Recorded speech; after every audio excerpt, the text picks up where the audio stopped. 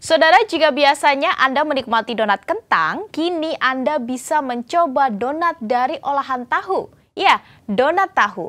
Rasa donat tahu yang enak dan tidak kalah dengan rasa donat berbahan dasar kentang membuat olahan donat tahu banyak dipesan.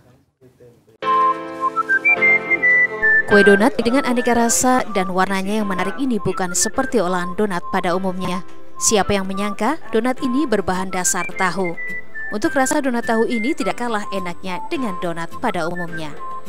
Sama seperti olahan donat yang lain, donat tahu ini juga diberi topping kacang, coklat, stroberi, dan berbagai topping lainnya. Kreasi donat tahu ini dibuat oleh Siti Muarofah dan Risa Novianto, warga desa Babalan Lor, Kecamatan Bojong, Kabupaten Pekalongan, Jawa Tengah. Awalnya, pasangan yang telah memiliki dua anak ini bekerja sebagai guru dan pegawai swasta di sebuah lembaga keuangan. Namun karena berada di lingkungan perajin tahu, mereka berusaha membuat ide olahan lain dari tahu. Salah satu ide kreatifnya adalah donat tahu dan ternyata banyak peminatnya. Pembuatan donat tahu ini adalah dengan bahan baku tahu yang belum jadi atau masih berupa cairan. Tahu kemudian dicampur dengan terigu dengan perbandingan 1 banding 2, misal untuk tahu 1 liter untuk terigu 2 kg. Kemudian ditambah telur dan gula serta bahan lainnya. Setelah adonan jadi, dibuat cetakan donat dan digoreng hingga matang dengan api kecil agar warnanya cantik dan glowing. Awalnya Siti Muarofah dan sang suami mencoba resep membuat donat tahu beberapa kali hingga berhasil. Dan akhirnya banyak warga yang menyukai rasa dari donat tahu ini.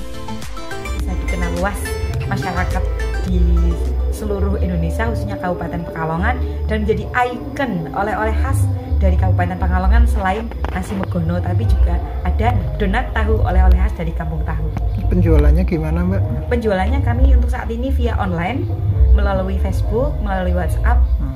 uh, dan melalui uh, rekan-rekan yang sudah pernah mencoba donat tahu seperti itu. Penasaran aja, soalnya kalau yang lain kan donat-donat biasa, kalau yang ini kok pakai tahu, jadi ya penasaran juga rasanya gimana.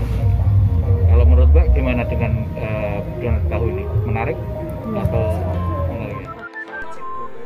Usaha rumahan donat tahu ini dimulai setelah mendapat bantuan UMKM dari dampak pandemi COVID-19.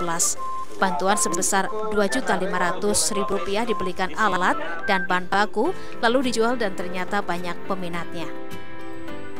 Donat tahu ini dijual satu kotak dengan isi 6 donat dengan harga Rp15.000. Donat tahu ini bisa bertahan hingga tiga hari karena dibuat tanpa menggunakan bahan pengawet. Tak hanya rasanya yang enak, donat tahu ini juga sehat karena terbuat dari bahan baku tahu yang kaya protein.